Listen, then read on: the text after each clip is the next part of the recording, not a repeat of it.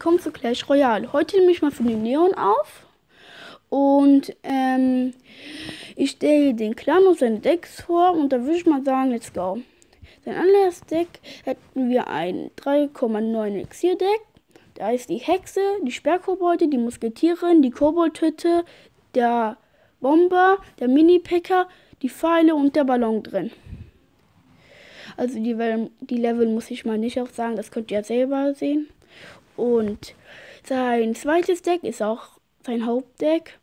Ist der Mini-Packer, die Goblins, die Sperrkobolde, der Ritter, die Bogenschützen, die Valkyrie und der Ballon und, den, und die Musketiere.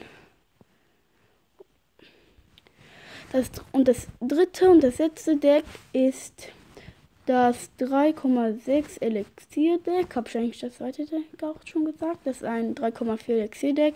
Und ähm, das ist ein 3,6 Elixier Deck. Und da ist der Ritter, die Bogenschützen, der Bomber, die Pfeile, der Feuerball, der Riese, der Mini-Packer und die Musketieren drin. Jetzt kommen wir zu dem Clan. Das, der Clan heißt Geilo. Ja, ist auch ein guter Clan. Der gute Clan-Name, ja. Äh, ist nicht der Anf also wie ihr, wie ihr seht, der ist nicht der Anführer. Das sie, ja, und ähm, ihr könnt da von mir aus von mir aus reinkommen. Ich bin auch drin. Hier bin ich, da, hier, hier, hier. Und ja, ich würde mal sagen, das war's mit der Aufnahme und